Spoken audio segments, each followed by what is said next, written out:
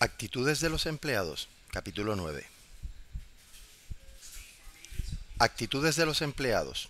Las actitudes son aquellas opiniones que los empleados tienen sobre diversas áreas de su trabajo.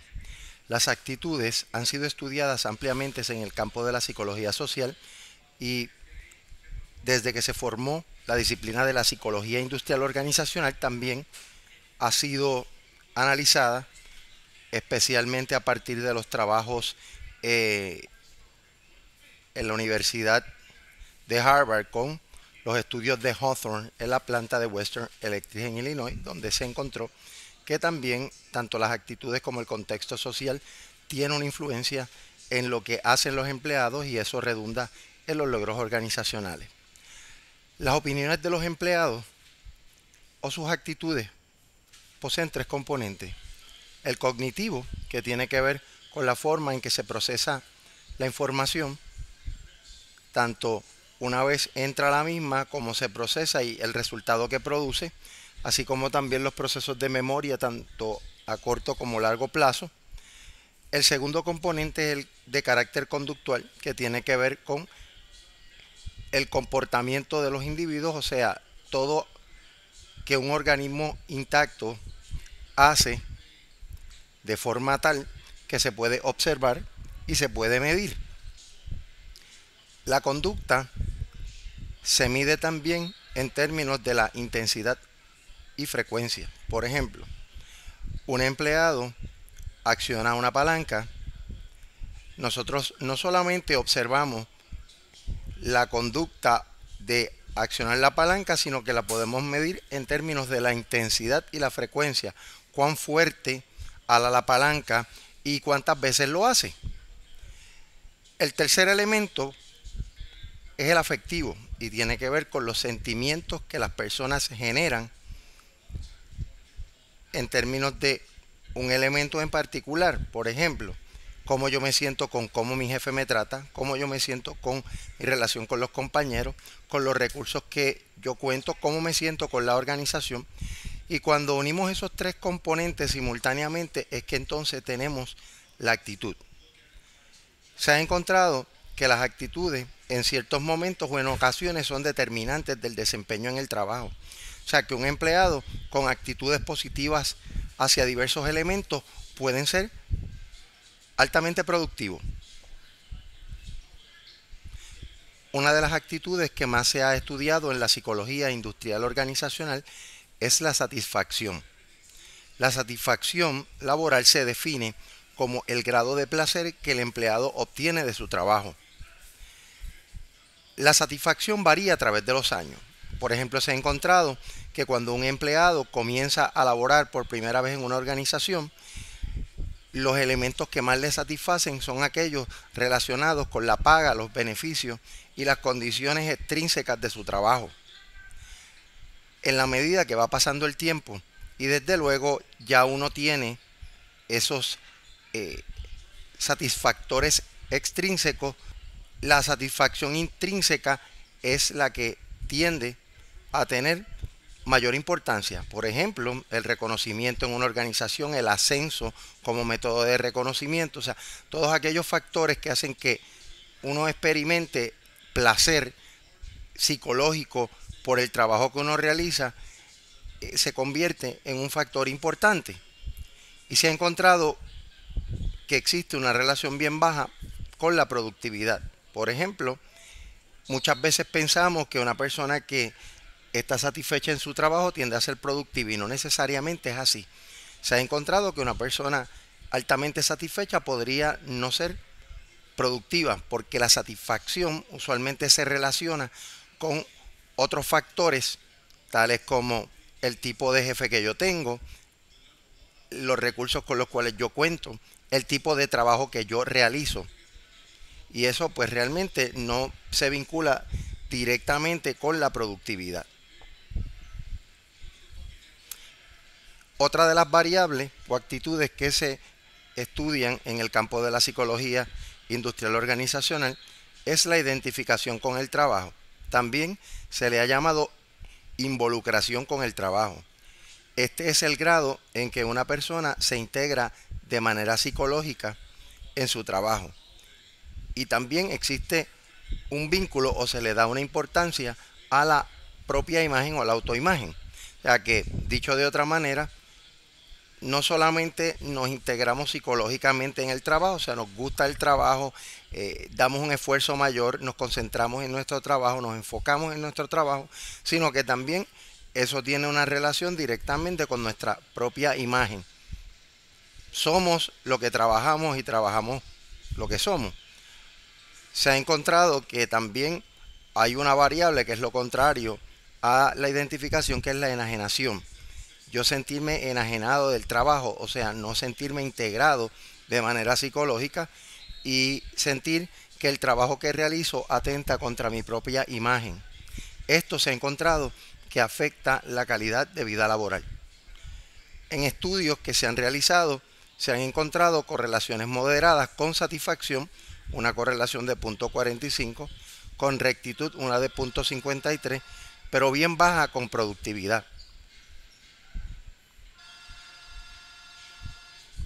Otra de las variables importantes en el campo del estudio de las actitudes es el compromiso con la organización.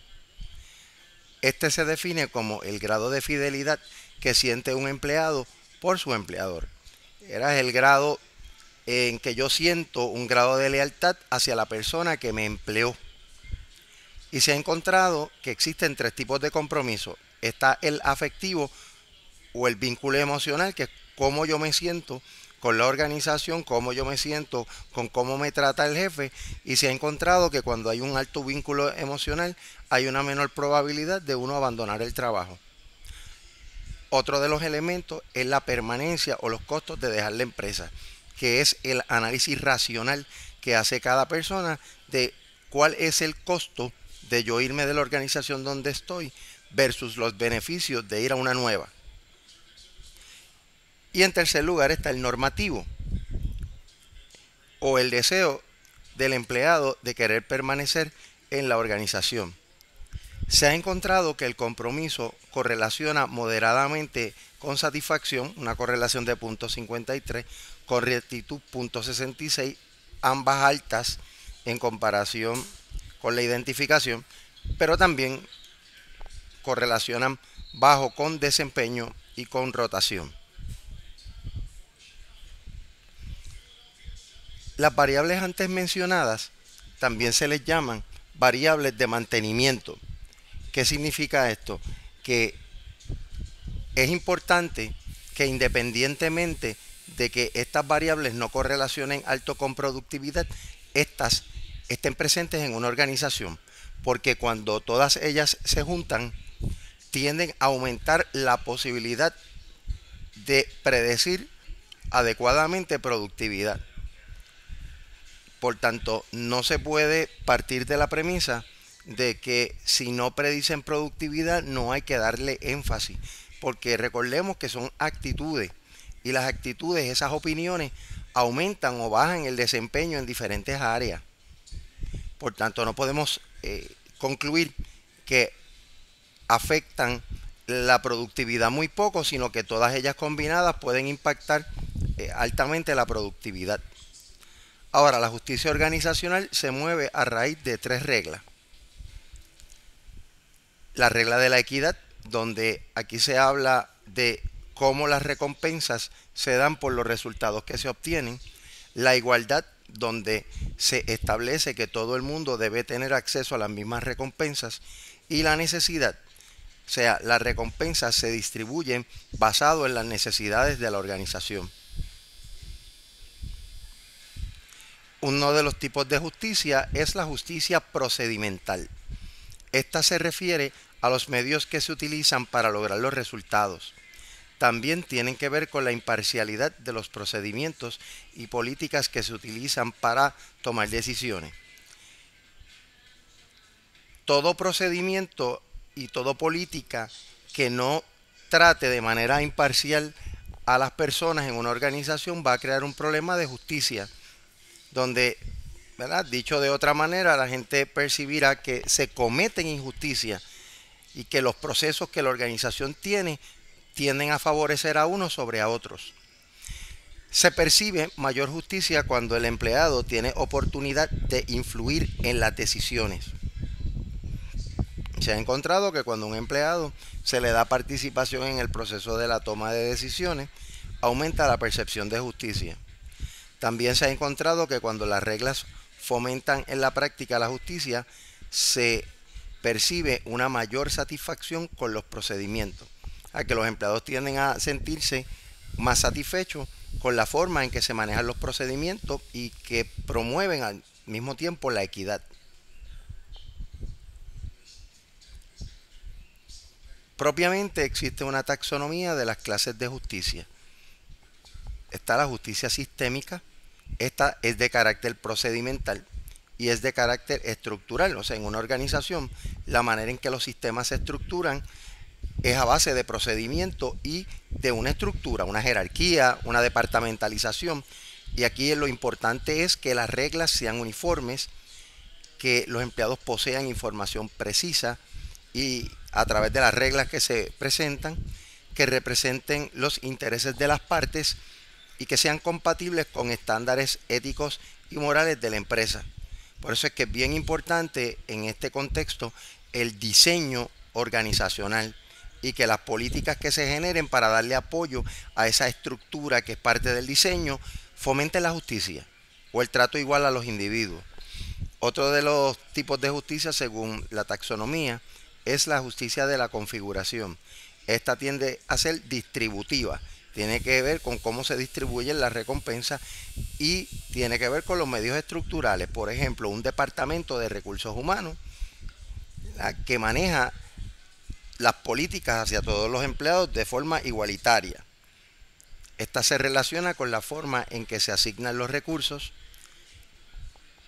También tiene que ver con las reglas de asignación de equidad igualdad y necesidad.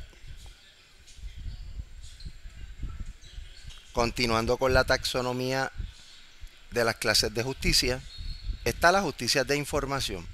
Esta se refiere a los determinantes sociales de la justicia de procedimiento.